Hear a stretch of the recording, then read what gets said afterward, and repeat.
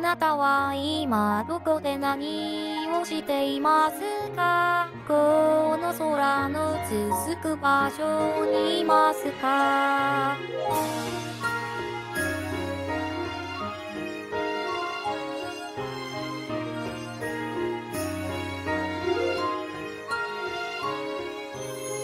今まで私の心を埋めていたもの失って初めて気づいた。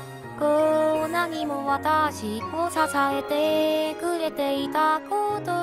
こんなにも笑顔をくれていたこと。失ってしまった大丈はとてつもなく大きすぎて。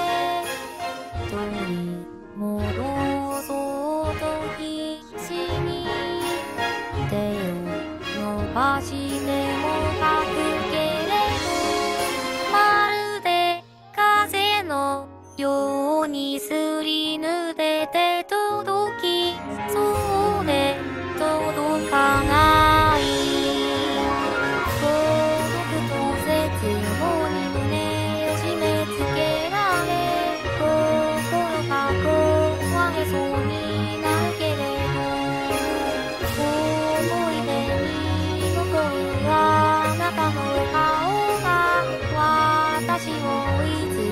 励ましてくれ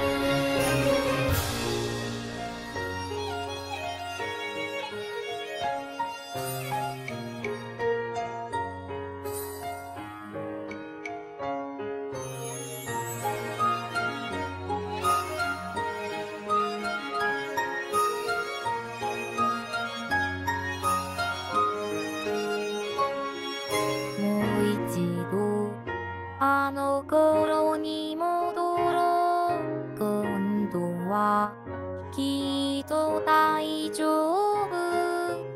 いつもそばで笑